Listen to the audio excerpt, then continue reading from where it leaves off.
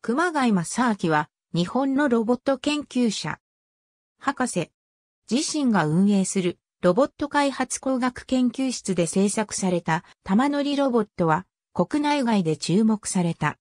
熊谷が工学や技術について解説したウェブサイトは広く参照され、日本機械学会教育賞を受賞。知能ロボットコンテストの運営にも実行委員長などで貢献した。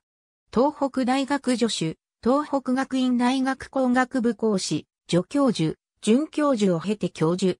仙台市地域連携フェローも併任し、カーネギーメロン大学と共同で、救命誘導モータの開発にも取り組んでいる。宮城県仙台市で生まれ育つ。子供の頃からものづくりに親しみ、幼少時は厚紙やセロハンテープで工作を行う。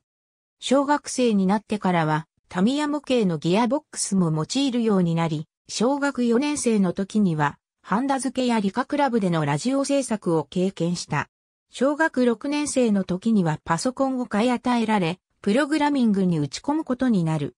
セロテープは1月1本まで、パソコンでゲーム禁止、趣味は禁止で、受験勉強に専念など、両親から適度に制約を受けたことが、リソース管理やプログラミング、理論を学ぶことにつながったという。熊谷は東北大学に進学し、趣味の電子工作やプログラミングを活用する前提で、機械工学系を選択する。ユニックスのワークステーションや、その分散ネットワーク処理などをたしなみ、大学院では、江村町の下で不正地対応二足歩行ロボットの研究に取り組む。気候や制御のみならず、姿勢センサなどの研究にも取り組み、斜面の認識、歩行も実現する。2000年3月に博士の学位を取得。その後は助手として数年を過ごした後、2003年に東北学院大学へ講師として転出。玉乗りロボット熊谷は2003年に講師として東北学院大学に着任し、ロボット開発工学研究室を主催する。熊谷は学生の希望により卒業研究のテーマを決定するスタイルを採用。2004年に配属された学生玉玉乗りロボットのアイデアを出し、二輪、倒立紳士、ロボット、パイプ乗りロボットと発展していき、後継学生にも恵まれ玉乗りロボットが開発される。ステッピングモータによるダイレクトドライブであった。玉乗りロボットで一定の成果が出た2008年頃に熊谷はニコニコ動画で玉塗りロボットの動画を公開。その後、IEEE スペクトラムにも学会発表用の動画とともに紹介される。なお、ニコニコ動画ではコメント機能により玉の摩擦係数を向上について改良案を得ることができ、IEEE スペクトラムによる公開動画は数日で50万回の再生を記録した。2008年には仙台市の地域連携フェローとなり、基礎からのメカトロニクス講座や地域企業との連携を担当。2009年から2010年にかけては、カーネギーメロン大学ロボット研究所に客員教授として滞在。熊谷同様に玉乗りロボットを製作していたラルフ、エルフォリス教授と共に、高出力の球面誘導モータの開発を開始する。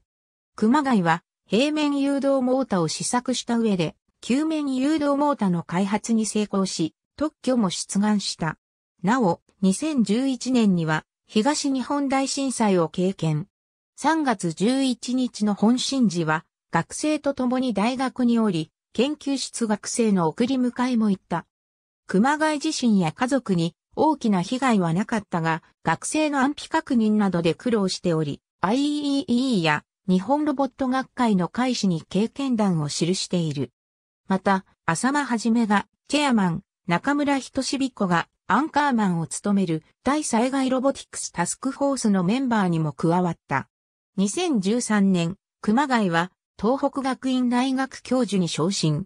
子育てに追われつつも、乳幼児の二足歩行を観察、考察し、同年4月から月間プラントエンジニアで身の回りに見つけるメカトロ雑学の連載をこなす。2014年には NHKE テレの天才テレビくんに玉乗りロボットが出演している。